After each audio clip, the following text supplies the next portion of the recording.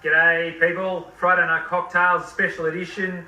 This is uh, in honour of our grand final victory in tennis. So I have a tennis inspired cocktail. This one is called a, a centre court smash.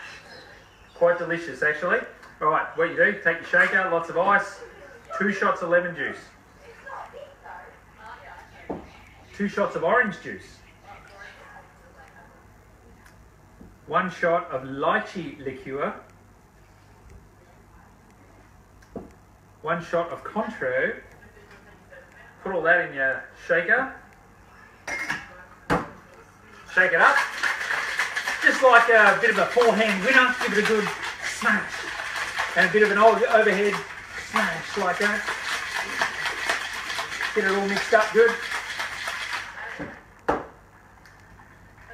And uh, strain into your tall glass full of crushed ice. Not quite to the top.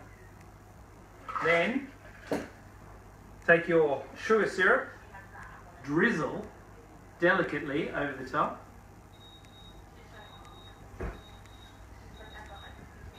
That says the match is over.